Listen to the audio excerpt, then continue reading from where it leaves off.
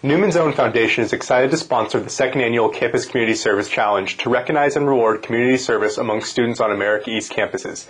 This weekend, nearly $100,000 in grants will be awarded to help America East student groups strengthen their relationships with their nonprofit partners.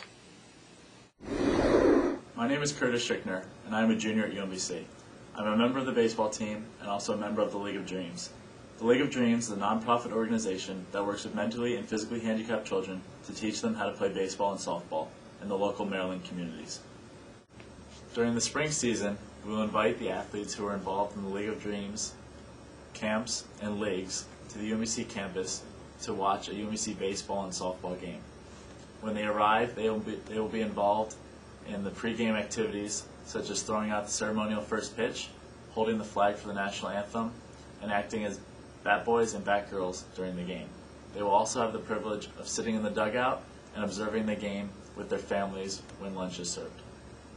The League of Dreams is a great organization for student athletes to get involved in, especially the student athletes who play baseball and softball, as we can relate to the sports that we're trying to teach these children.